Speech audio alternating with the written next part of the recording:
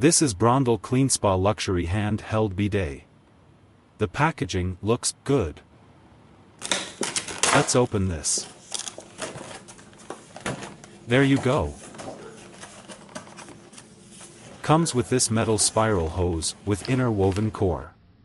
This is extra long 47 inches. This is the all-metal T-valve for pressure control and shutoff. This is the sprayer holster for mounting. And this is the bidet sprayer head. Looks good. I like the design.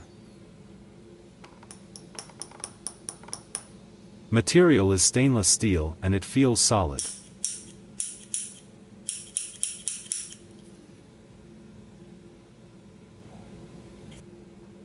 Overall everything in this box looks to be very well built and is highly recommended.